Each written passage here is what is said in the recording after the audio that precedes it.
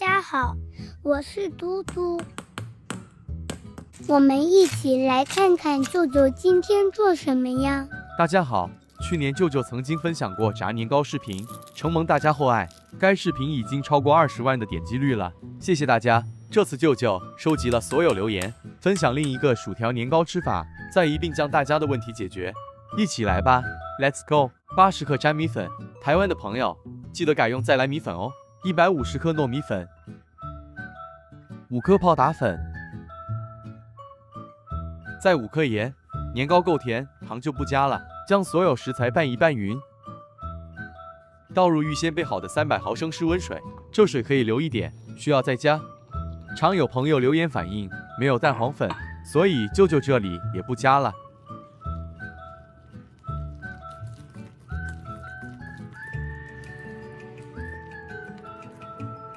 再加入一大匙食用油，拌匀。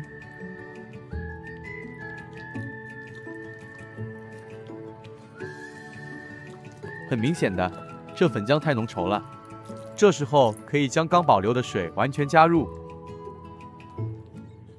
拌一拌匀，这粉浆就完成了。不要怀疑，这粉浆舅舅真的只用糯米粉与粘米粉两种，这样油炸后足够脆了。拌匀后搁置备用。年糕六百二十克，大或小一点都可以。先将年糕圆边修齐，切成个正方形。切出来这些保留，后面会用它做个薯条年糕，还请大家一起观看到最后。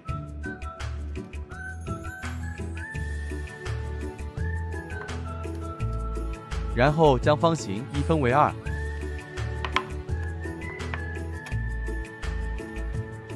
再切成高二公分、边四公分的厚块状。有这么厚吗？是的，舅舅想每一口都是满满年糕，吃了特别过瘾。切出来六大块。紫色番薯一个，重约两百克，在中间较粗部分切出六片，大约半公分的厚度就好，其余保留。橙色番薯一样重两百克，与紫薯同样处理。好了，接着年糕上下各垫上一片番薯，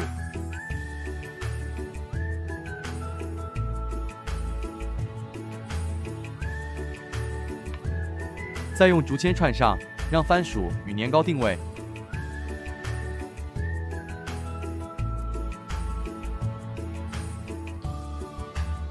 锅里热油。这是预先拌好的粉浆，搅拌一下，将沉淀粉浆再次拌匀。用一点粉浆测试油温，粉浆下锅后马上浮起油面，说明油够热了。如调至低火，将年糕沾上粉浆，再放入油炸。上一次我有先将第一次油炸的粉浆稀释，有网友觉得麻烦，所以这次舅舅直接油炸。其实都可以，只是成品外层会比较厚一点。就视频链接。舅舅放在右上角，想了解的朋友可以点击看看。今天这油量用的也比较少，所以年糕要试试翻面，以便受热均匀。也有网友表示，油炸时年糕会流出来，这可能是火太猛。其实第一回小火油炸，外层的粉浆会将年糕裹住，成品里的年糕会呈现流心状态，也很美味的。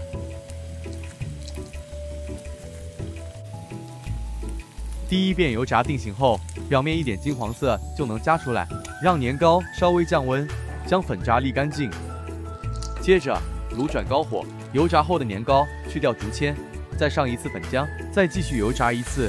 第二次油炸时必须高火，这才会减低年糕的含油量。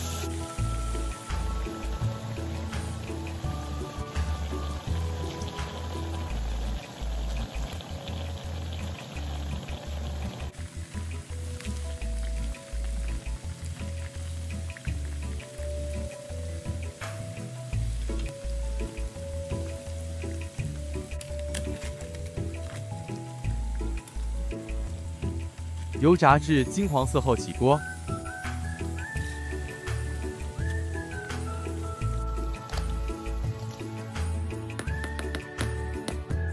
单听这声音，您可以想象成品是有多么酥脆。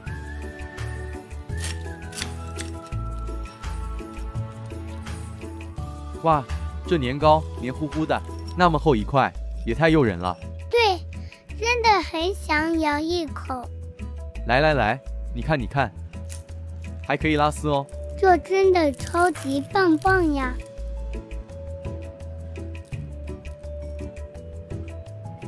接下来，舅舅将剩下的食材再处理一下，番薯切成条状，我们来炸个薯条年糕。这紫薯也一样切成条。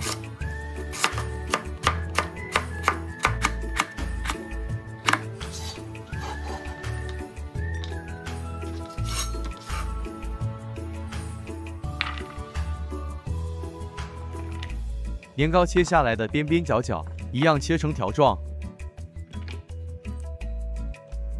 加入两大匙面粉，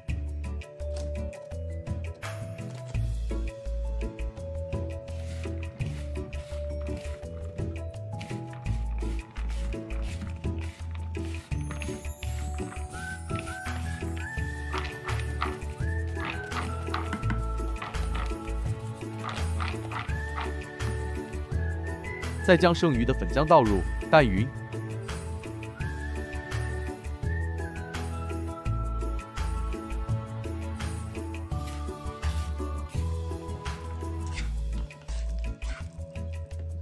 再一小撮，一小撮抓入低火油炸。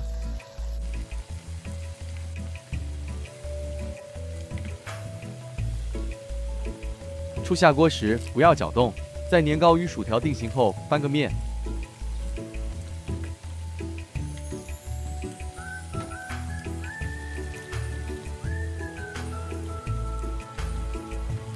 油炸至表面微微金黄色起锅，相同步骤将剩余年糕。全部油炸完毕，接着再将炉调至高火，将稍微降温的薯条年糕复炸，大火一直油炸至金黄色后就完成了。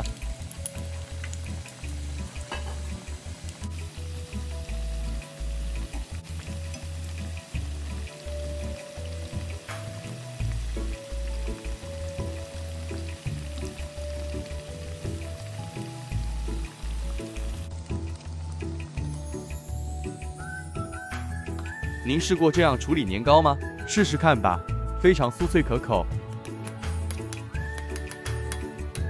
小朋友很爱吃的。嗯，超级香脆，舅舅也很喜欢。这个我也喜欢。今天分享了两个年糕油炸做法，一个是厚厚的年糕，吃了很满足。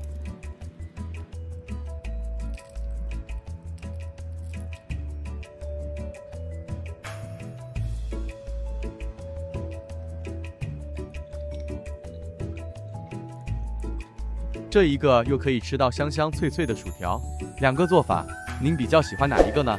请在留言区留言告诉我们好吗？希望您会喜欢我们的视频，谢谢大家。嘟嘟爱你们哟。